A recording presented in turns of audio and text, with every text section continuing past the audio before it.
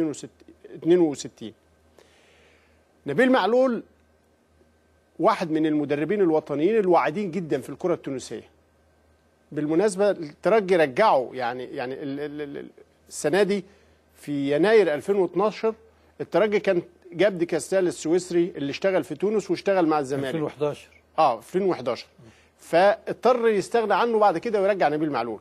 نبيل معلول على قيمته ولاعب دولي كبير واحترف في هانوفر الألماني ومحلل رياضي كبير في قناة الجزيرة وقبلها في ال ART وله تجاربه التحليليه كواحد من خبراء الكورة الواعدين جدا. لكنه صدم جماهير الترجي مرتين. نتمنى إن شاء الله الثالثه تكون مع الأهلي. صدمهم يا باشمهندس لما بدأ طبعا حياته مع الترجي ناشئ في مدرسة الكورة في الترجي لعب في نادي الترجي لغاية لما احترف في هانوفر الألماني ولما رجع رجع آه لعب مع البنزرت التونسي وانتقل ليلعب للأفريقي التونسي. المنافس اللدود. وده الأهلي والزمالك. الصديق يعني آه بالظبط. الترجي والأفريقي في في تونس.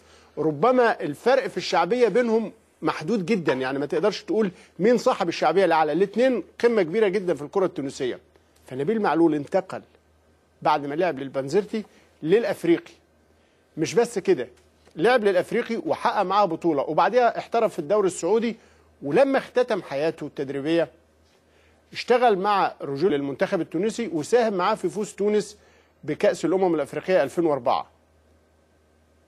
لكن رجع يصدم جماهير الترجي إنه يتولى التدريب الأفريقي ويحقق معاه بطولة الدوري ويعلي قيمة النجم الأفريقي التونسي.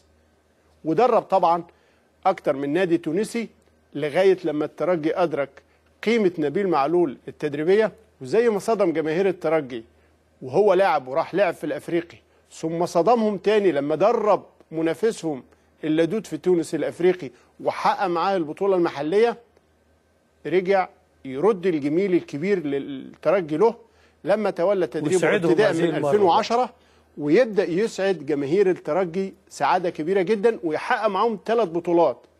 يجيب الدوري مرتين ويجيب كاس تونس ويفوز بدوري أبطال أفريقيا الموسم اللي فات.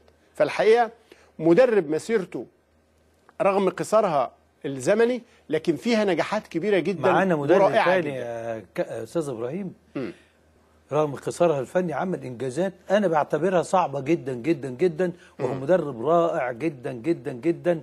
وشخصية رياضية محترمة جدا جدا جدا.